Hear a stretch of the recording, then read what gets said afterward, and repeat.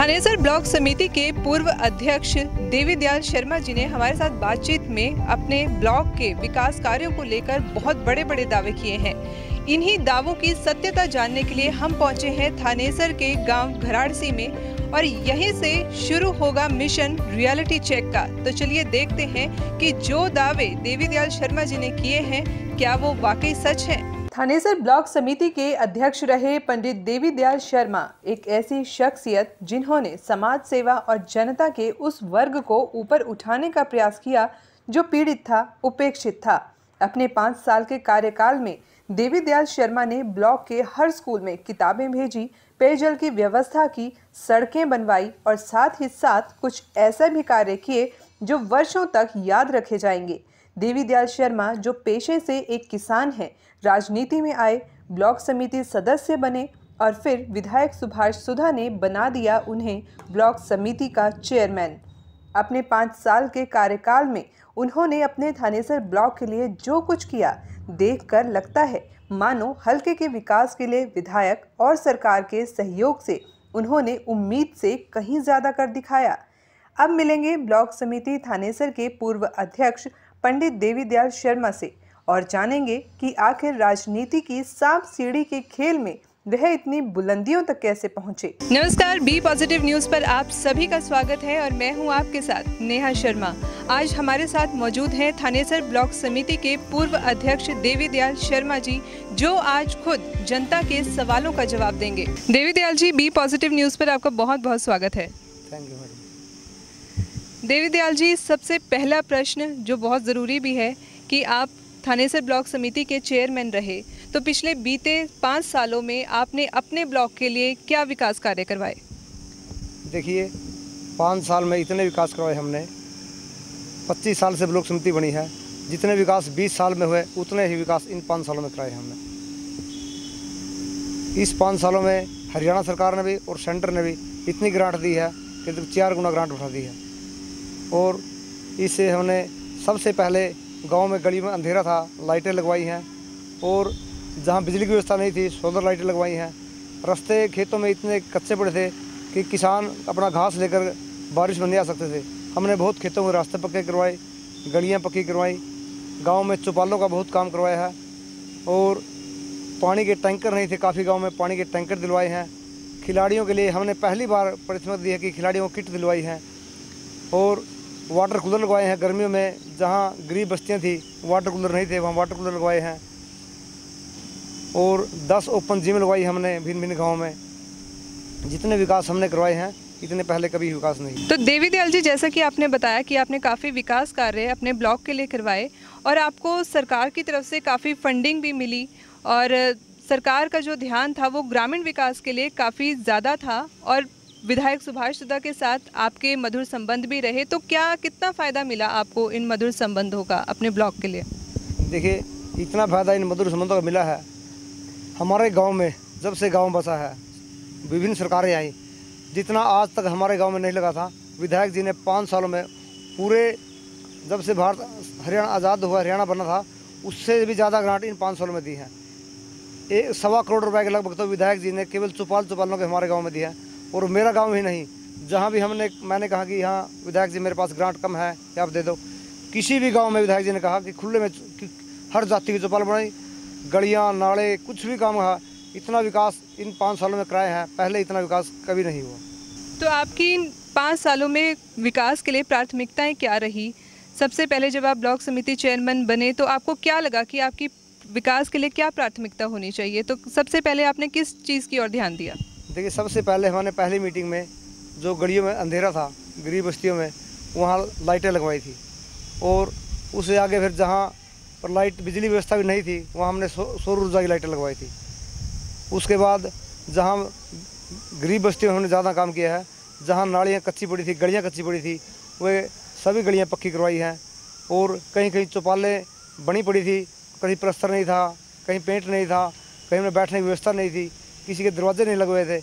हमने काफ़ी चौपालें, इनको पूरा ऐसा करे हैं जो उसमें। और काफ़ी चौपालें ऐसी थी जिसमें सारा दिन लोग बैठते थे और उनमें बिजली भाग जाती थी और पंखे नहीं चलते। हमने बहुत चौपालों में डबल बैटरी के इन्वर्टर लगवाए हैं। अब उनमें दिन रात लोग बैठते हैं और आराम करते हैं। तो देवी दयाल जी, जैसा कि आपने बताया कि आपने अपने पाँच सालों में अपने ब्लॉक के लिए काफ़ी कार्य किए हैं, काफ़ी विकास करवाए हैं, जिनमें कि आपने वाटर कूलर्स लगाए, गाँव में सड़कें बनवाई, लाइट्स लगवाई, ओपन जिम बनवाए, काफ़ी कार्य आपने करवाया। तो आपकी नज़रों में ग्रामीण विकास के लिए स्वच्छ पानी, सड़कें, इन सब चीज़ों का क्या महत्व है, कितना महत्व है? देखिए, सबसे अच्छी बात है तो स्वच्छता के लिए कि स्व- स्वस्थ पानी पानी के लिए भी हमने जो लास्ट में गलियाँ बनवाई हैं उनमें पानी की अंडरग्राउंड सीवरेज डाली हैं और पानी के पाइप भी साथ में डाले हैं कि शुद्ध शुद्ध पानी मिले और गलियों में गंदगी ना फैले। स्वच्छता सबसे पहला काम है स्वच्छता ज़रूरी है।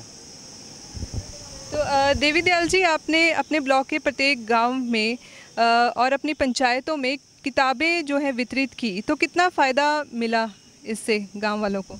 देखिए मेरे एक सौ गाँव में सौ स्कूलों में हमने लाइब्रेरी की पुस्तकें दी हैं। उसमें बहुत ज्ञान की पुस्तकें थी।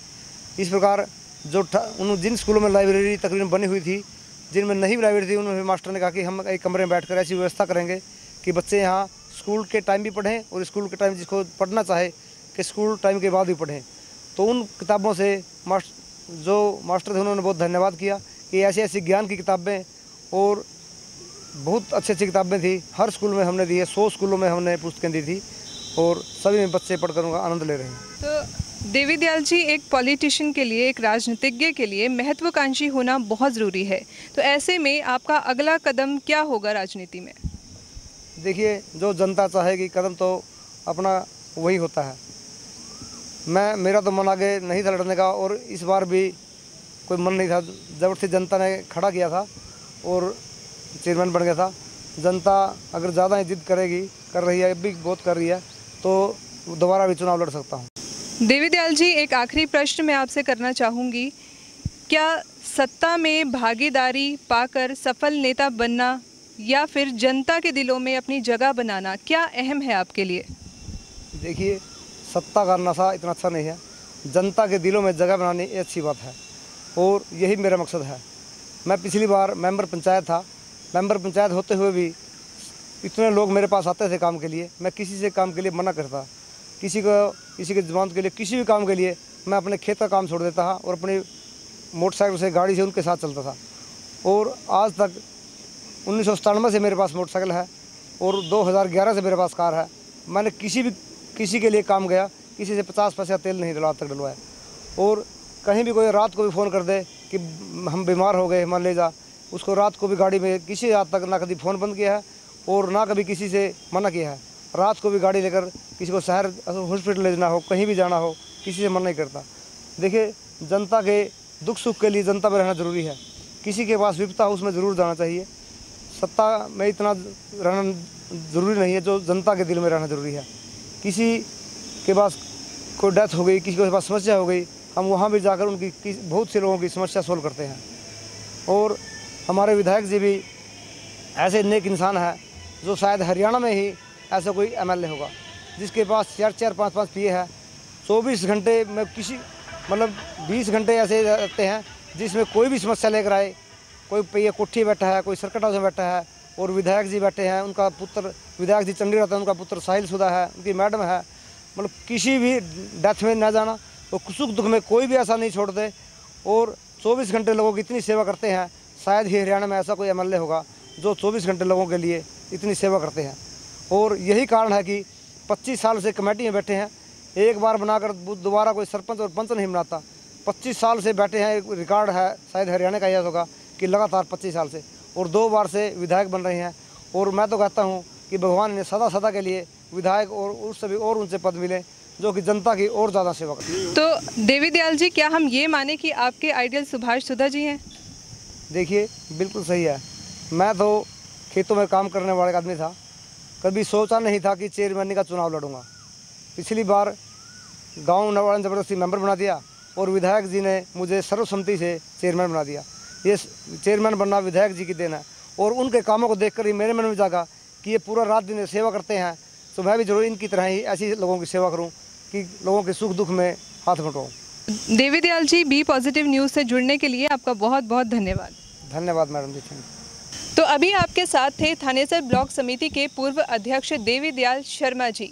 क्या देवी दयाल शर्मा को दोबारा से चुनाव लड़ना चाहिए? आपकी राय क्या है? आप कमेंट करके ज़रूर बताइए और इस पोस्ट को ज़्यादा से ज़्यादा शेयर ज़रूर कीजिएगा और जुड़े रहिएगा बी पॉजिटिव न्यूज़ के